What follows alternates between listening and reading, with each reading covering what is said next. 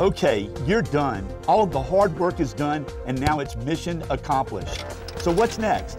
Because with your degree from ITI, you'll have the tools you need to have a better life. And the reason we do this is you. We want to foster your dreams, your plans, and the hope for your future with a quality education. Our tagline is for a better life, so you can actually live the life you've always dreamed of. And it can all begin here at ITI, where we're invested in your future. I'm Lee Feinswag, and this is Sports 225. And not just any Sports 225, this is the 25th year of the show. We started with Sports Monday, continued it into Sports 225, and now, a quarter century later, here we are.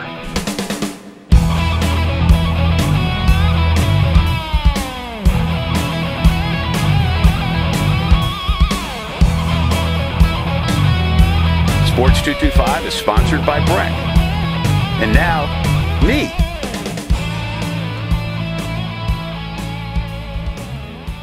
Well, you might have heard that LSU played a football game last Saturday against Alabama, and my guest Brooks Kubena's life has revolved totally around that game before, during, and since. Even though the game's over and LSU plays Ole Miss this week, I would imagine still out of Alabama on the brain. Uh, absolutely. I mean, it's the talk for the last couple of days. Uh, everything's been built up for eight years, and the thing is, these players are, are, are you know admitting that. You know, talking to Rashard Lawrence on Monday, he's just like, you know, it, it'd be kind of dumb not to acknowledge the fact that this thing was as big as it was, and I mean, just the manner of which they won the game too. I mean, they were they were blowing Alabama out in the first half, 33-13. This was clearly a team that was better, and you know there was some uh, push and pull in the second half, but I mean, to, to vault to number one for the first time in college football playoff history is as, as big as it could get for LSU. Well, there were a couple things that I, I came away with in that game. There were there were um, three things in particular. One was the fumble by Tua on the first possession, which I never said on television. I don't know if you caught this on the replay, but I thought that the ball slipped off the plastic piece hmm. that he uses to protect the plays that he reads. It almost looked like it went right off of that. It's kind of weird, but that was no doubt a huge element of the game at that point because of the tone it could have set for Alabama. Yeah, that was the swing. Uh, yeah. Alabama drove down really easily to get down there, right. and it, it almost felt it, felt status quo. Like here comes Alabama again marching yeah. in, and uh, I'm not saying that LSU wouldn't have countered, but. Uh, that was that was kind of the thing. Uh, people are talking about the breaks that Alabama had. There were also breaks for LSU, and I think they've kind of neutralized each other too, mm-hmm. because LSU, uh, you know, whenever they had the punt return for a touchdown Alabama, Racey McMath, their gunner, was there. And actually probably could have been called for hands to the face at some point, but yeah. he slipped out of his grip and went 77 yards. So that first half had a lot of gimmicks, a lot of things that kind of went both ways for both teams, but uh, definitely was was something that was interesting to see from Tua right to start off the game. Yeah, I mean, I was I was stunned with. Uh, well, one of the things I was going to talk about later, and you mentioned Tua, was I was really glad that the camera captured at the end uh, Blake Ferguson going over to, uh, you know, shake hands with him yeah. because I think the LSU players probably recognize what this guy did. And I, I, got the impression that even though it was a chippy game, because it's football, that there was a, a lot of mutual respect during and after the game for each other. Because, I mean, they had to recognize there were a lot of guys who might be teammates in a couple of years. Sure. And, and uh, LSU outside linebacker K'Lavon Chaisson, he, he talked about this on Monday, too.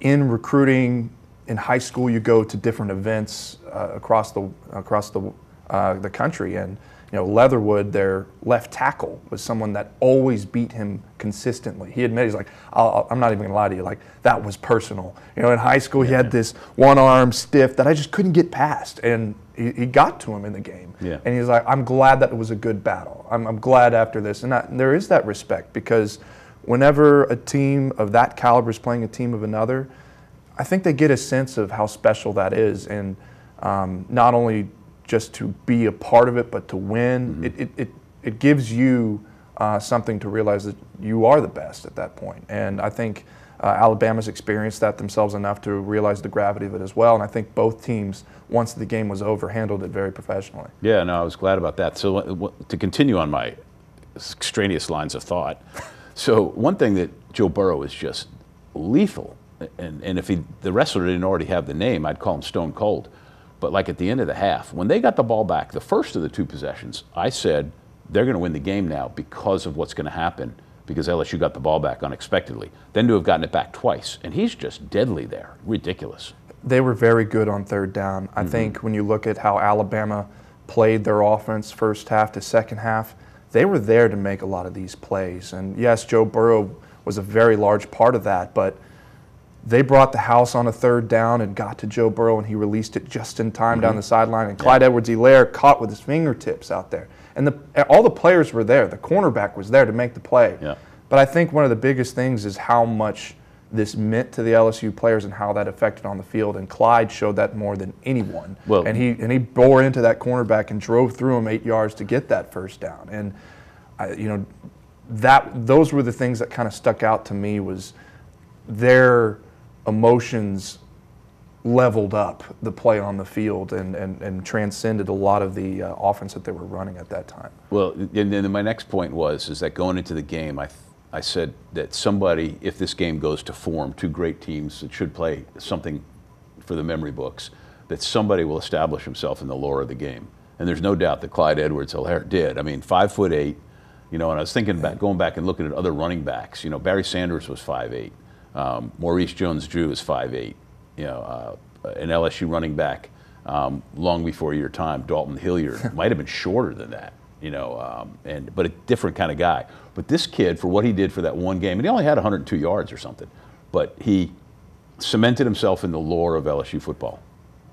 I think I think he definitely did. Ed Orgeron said Monday that in his 35 years of coaching, he hasn't seen another performance quite like that. And this is a guy who's been around guys like Reggie Bush so it says a lot. And he had a, he had about 200 total yards of all all purpose offense. Mm-hmm. Clyde Edwards-Helaire did 77 yards receiving.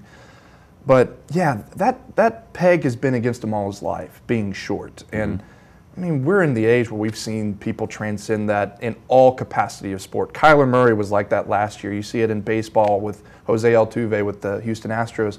I don't think size, his height, really went into the things that uh, went against him. I really think it's mostly was his speed. I mean, the people who actually went and looked at him in high school and evaluated him, it's the breakaway speed that was lacking in a lot of people's eyes. And I think whenever uh, sometimes that can be overvalued with running backs, and and once they get into the open field, you want them to house it. Uh, but I think what you saw against Alabama, the other value that Clyde Edwards-Helaire brings to uh, the running back that helps in the NFL is that you're going to get hit quickly. How do you handle tight spaces and being uh, tackled? Can you get out of the grips of guys after the first hit?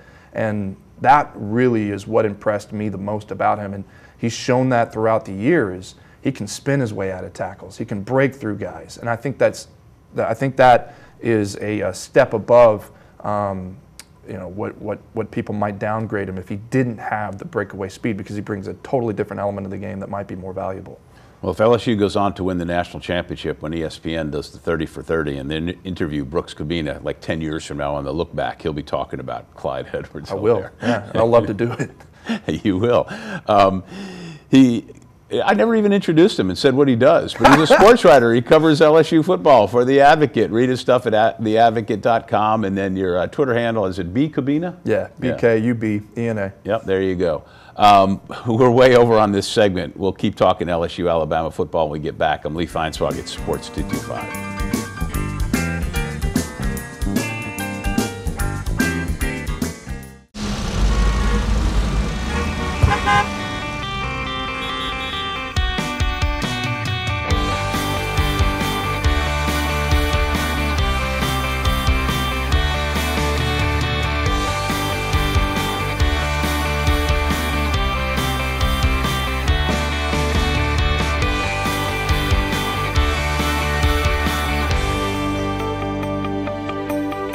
Out of the chaos. We're back on Sports 225, hanging out with Brooks Kubena, the sports writer for The Advocate who covers LSU and the SEC. And uh, we were talking in the first segment primarily about the LSU Alabama football game, but uh, I'm always fascinated by the next generation of sports writers. And I never was a football beat writer, I was the LSU basketball beat writer for The Advocate. Um, damn near before you were born.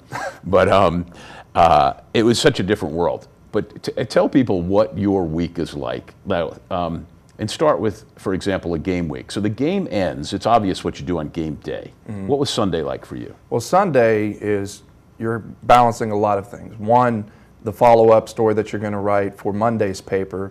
Uh, but I also like to break down film. I think a lot of fan response, a lot of reader response like to see breakdowns, and uh, I think people are uh, nowadays with all the technology that you can use, the intricacies of a football game. They appreciate uh, reporters who try to do as much as they do. Um, so that's what I balance, and then also preparing for uh, Monday. So coming so back from Alabama was a long drive, and doing all that at the same time. Yeah. Somebody else was driving, I hope. Yes. Yeah. Thank yes. you. Yes. I won't say um, that I haven't written a story while I drive, but driven. Oh, before, oh God, please, please, no, no. See, he he came to the Advocate too late. Back when I worked there, we had a company plane, so it, it was like a one-hour flight to most SEC destinations. You'd yeah, that would be like, great. Oh, we'd leave at like two in the afternoon for a basketball game, say at Auburn, land, mm. go eat some dinner, go to the game. Sometimes, you know, and then we'd write. And uh, if we thought we'd be home early enough, we'd actually write on the plane and then file the story as soon as we got to the airport. Um, oh, uh, those were the days. But um, yeah, because it reduces the wear and tear on your body of a long season. That's for you know. That, sure. Yeah, you take a you take a one hour flight versus a six hour drive. I mean, also the flights are great. I like going on away games where you have to fly because sometimes when you're up in the air and that cell phone signal is gone, it's almost like the only time you get to relax because you're like, all right, I'm not getting buzzed by Twitter notifications and emails and whatever. I can just sleep. Some of the best sleeps I've ever had during a football season are being on planes. That's true. I wish I could sleep on planes. oh God. So, um, do you watch the you the replay of the CBS broadcast, or do you watch a different um, video broadcast? Uh, I watch different ones. Uh, YouTube is great, actually. Mm-hmm. There are a lot of people out there who uh, sometimes do games in under 35 minutes. They cut out. Oh yeah. They cut out a lot of the, the, the talk, the commercials, and everything, and you can see play to play to play, and that makes it really easy for me. So whoever's running those things, I appreciate it. Um, but you know, that's that's how I look at it, and yeah. I and I do want to be able to look back on a game because you know, as a writer. Um, during the game, you're writing the story and trying to put it into context, and you're missing some plays every now and then. I have to look up at the screen that they have in the booth and see the replay and yeah. uh, check check the stats that are that are uh, on on lifetime. So you do miss things, and I, I, think it's very important to go back and look. Yeah, no, that's good. All right, so that's Sunday. Then Monday. Mm-hmm. Monday's press conference. Uh, exactly. Ed Orgeron talked yesterday. Players talked that afternoon. Um, Monday morning, I usually have an idea of what I want to write about, so I'm doing a lot of prep work. Um, you know, digging through film. I watched, rewatched the game Monday morning again, and uh, I knew that I was going to write about K'Lavon Chaisson because he had a heck of a game um, on Saturday, and worked out because Ed said in his presser that that was the best game that K'Lavon's played. I mean, his most complete game. Uh, so you know, it's it's a 12-hour day. I wake up at 7:30, and they end up talking at 5:45, and then I file my story by 7:30, and I go home and try and get ready for Tuesday morning, and I get texts from people like Lee Feinswag to see if I want to come talk. I'm like, I'm tired, man. this was prearranged. I didn't get him on the morning, just so you know, but we had a plan in advance because this week is crazy. Tuesday is your one slower day, though, right? Yeah. By by this point, um, by by Tuesday, you know, I've uh, you know got more of what I got from Monday uh, with all the players. I have a better idea what I'm writing about Wednesday, and I can usually file my story pretty early. And then it's really focus on the game day story because we do Saturdays very big. Mm-hmm. Um, and so that's like a Wednesday, Thursday, and Friday are about. That, yeah, yeah, yeah, yeah, and and and still. Um, and you've reminded me there are a few things that I still need to take care of because mm-hmm. we do different sections in the game day, like I remember last year we, we, we try and be creative and uh, give readers something that they are interested in. And I was like, you know what? There, there's sports gamblers out there. They want to know. Yeah, and yeah. I don't know about all these lines and what they mean. I want to act like I do. So let's call somebody that does. And every Saturday there's been a section in there. We call it Inside the Betting Line. And someone I've reached out to gives us basically his thoughts on a question that I ask. So yeah. those, are, those are the kind of things that I work on too. Well, it's amazing how the bookies are so. I mean, the score. If you think about what was the, the ultimate final spread going into that game Saturday was about six and a half, seven. Yeah. You know, so LSU covered, but barely. Right. 46-41, five five points. Yep. Uh, yeah. Oh no, so didn't. Oh, no, so yeah, right. so LSU wasn't favored. So right, Alabama right. was favored yeah, on the other end. So they so you, won straight up. Yeah. Uh, the, but the thing was is that the over under was somewhere in the 50s which I was really surprised, but I thought that was really low considering the offenses that they were. See, it's funny, you know, they combined for 80 yeah, points. it's funny that you say that because traditionally games like that, they're not both wide open and there mm-hmm. aren't the high points. You know, 50 something is more realistic because everybody plays close to the vest, especially in the first quarter.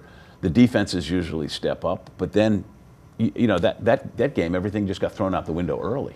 You know, and I think it's because of some of the sloppy play at the beginning. I mean, there's just there just were breaks to his fumble, uh, the punt return touchdown, uh, Derek Stingley getting caught on a trick play uh, in, a, in a touchdown from DeVonta Smith. So those add to the point total. Yeah. So that's definitely part of it, and uh, maybe if you take those away, maybe it does go around 50 points. Yeah. Uh, he's Brooks Kubena. You can read his stuff at theadvocate.com. You can spend the money and buy the newspaper. Please Always do. Still, still a thrill. And at NOLA.com and the Times Picayune. I mean, all those, all those avenues are there for you. Um, we'll talk more. I'm Lee Feinswag at Sports 225.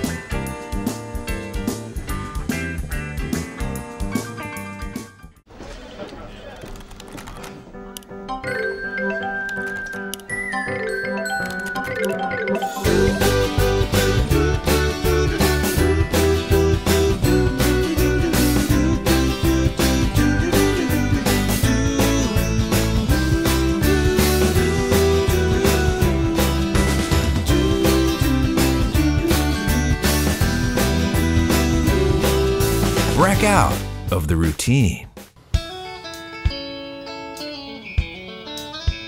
Well, we're back on Sports 225. You know, I'm wearing a long sleeve sweatshirt, my volleyball Baton Rouge vintage sweatshirt. But uh, as we're doing the show, it's in the 30s. It's so refreshing to have some cold weather. Oh my. It's just like, you know, I'm not a hot, humid weather kind of guy.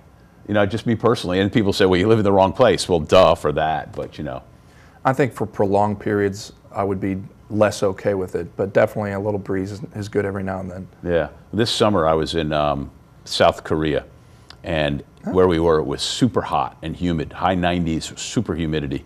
And I was with a bunch of guys from Canada, and they said, "Oh, you must be used to this."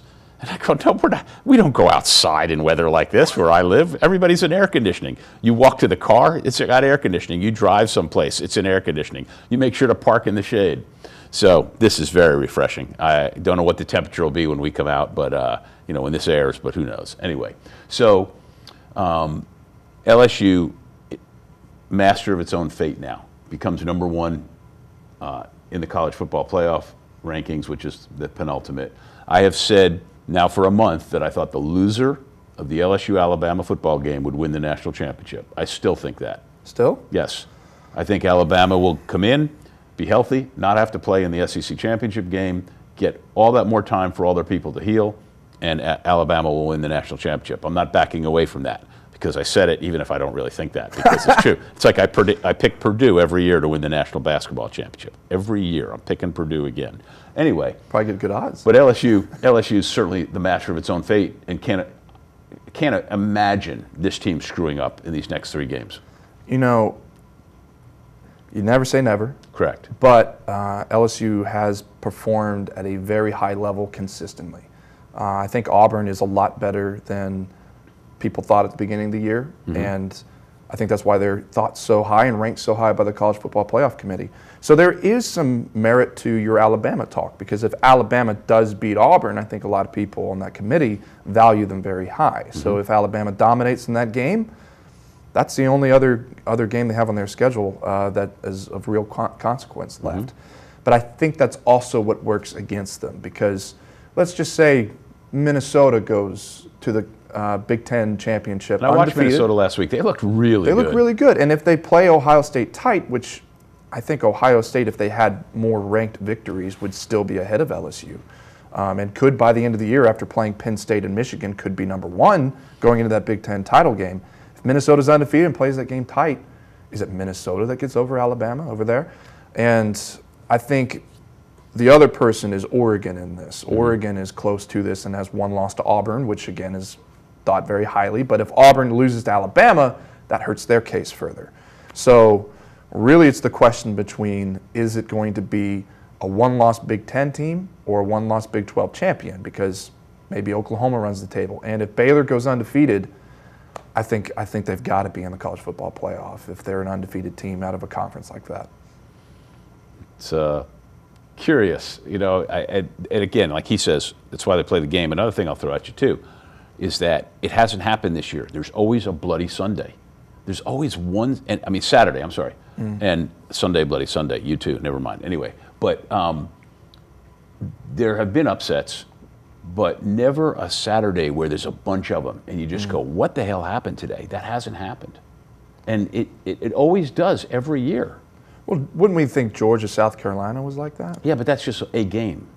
You mean you know, like a whole oh, Saturday of a bunch of knockdowns yeah, at once? It just happens, you know. Things yeah. just get squirrely sometimes. Well, who knows? We still got three weeks. Yeah. So LSU goes to Ole Miss, right? And by all accounts, should should just overpowered win that game very easily. You would think. Uh, last year, Ole Miss was pretty strong offensively, and they did nothing offensively in that game. Uh, I think LSU was equipped um, much better in on offense to continue to play the way they do. But I do think the pass defense uh, you know, there's some spots that they may be missing some players. Kristian Fulton hasn't practiced in a couple of days. Neither has Kary Vincent. You know, this whole secondary has, um, you know, they struggled against Alabama at times. Ole Miss is probably going to have its spots where they have success. Uh, and the one interesting thing about Ole Miss is that their pass rush is pretty effective. Uh, they're, they're in the top 40 nationally, and I know it's going to be one of those things that people don't really remember from Alabama because Joe Burrow played so well, but he was sacked five times in that game. Mm. He was pressured immensely. And if Ole Miss can have some success getting to Burrow, and this could be a little more tight than people think, I still think LSU is highly overmatched. Over, I mean, is, Ole Miss is highly overmatched in, in comparison to LSU, but some of these things make it a little more interesting. Well, this is your second year on the beat. That's right. So this was your first trip to Alabama to mm-hmm. see a mm-hmm. football game. This will be your first trip to Ole Miss. Yeah. Well worth the walk around before the game. It's I a curious to. place. It's uh, yeah, nice people. They dress nice, you know, and uh, it's just one of those fun college football experiences. Yeah, but I might have to kick uh, Scott Rabalais a little bit to get us going in the morning. You know, me and Sheldon and them. We got We're not staying in Oxford, so we got to go Ooh. up there. I got to be like, hey, look, let's let's go. Let's see this. The, the um, old seasoned veterans. That could be a problem. Well, you know, uh, usually it's me that they have to kick out of bed because you know Friday nights are you know I'm 26. You're so young and strong. I gotta. that's my only night to do anything. So uh, well, we'll see. It's Rabalais is going to be a grandfather, so you know. That's true. Yes, you know that's great. All right, he's Brooks Kubena. He covers LSU and the SEC for the Advocate. Kind enough to uh, take time out of a busy week because all of his weeks are busy to come on Sports 225. When we get back, we have time for one short segment. We're out of here.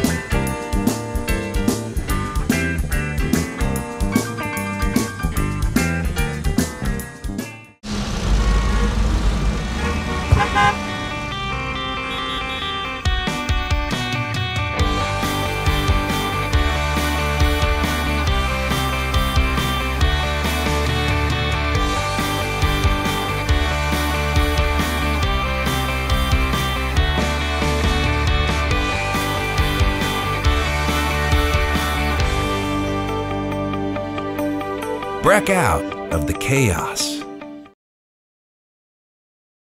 Coming down the home stretch of another Sports 225. Go to sports225.com for all the show listings when we're on Cox 4, which is your view, and on CST.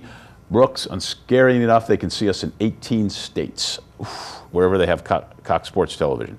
Um, and then on the interwebs, I uh, have the YouTube uh, Sports 225 YouTube channel where I archive old shows, including the first time you were on last year. Right, at the A&M and game. I'm way behind on that. So, you know, and thanks to Nils Breckoff for pushing the buttons. Um, do you see LSU winning the national championship? At this point, I don't see anyone else between them and Ohio State. I think Ohio State's the only challenger. Uh, Ohio State, I'm an AP top 25 ranker. Uh, I, I, uh, What'd you vote this week then? This week was LSU one, Ohio State was two, and Ohio State was before LSU beat Auburn. They were my number one, and I think they are a very dominant, complete team. And uh, I, th- I, think it, once Chase Young will eventually return to that team, and they're going to be a presence. Uh, I think I, I, can't tell you right now from uh, who will win that game, but I do think they're very evenly matched because I still think we still have a lot to see from Ohio State once they play the Penn States and Michigans and perhaps in Minnesota. But um, at this point, I don't see anybody else who is at a higher level of playing than LSU. For um, somebody who just started this gig two, two seasons ago, this is your second season you've, you've had an awful lot of fun. It's been great. I mean, you know, you talk about just timing being the key to life. You know, I mean, you know, and that's one of the things I wanted to come down here and cover a program that's going to have a lot of stories, and they haven't disappointed. And you know, it's it's uh, it's it's definitely interesting. I, I, mean, whenever I got here, there was always the talk that they weren't going to do well. Ed Orgeron was going to be fired. You know, then you're going to have to cover a coaching search, and it's been the antithesis of that. It's been the complete opposite. So um, that gives you the uh, ability to, to, to write about things that people are putting in their cabinets for for years. Absolutely, know? and. Uh, if you ever have to do a college football coaching search, which I don't know if you ever have, just shoot me. As, as a sports writer, just shoot me. I did a couple LSU football searches, and way too many I felt like on the basketball side and other things. But anyway, you're a fabulous guest, great sports writer. Great to have you. Thank you so much. Yeah, appreciate your time, man. Thanks for having me on. Brooks Kubena, follow him at Twitter at bkubena. Read his stuff at theadvocate.com or buy the newspaper or go to nola.com and watch us every week. I'm Lee Feinswag. Thanks for watching Sports 225.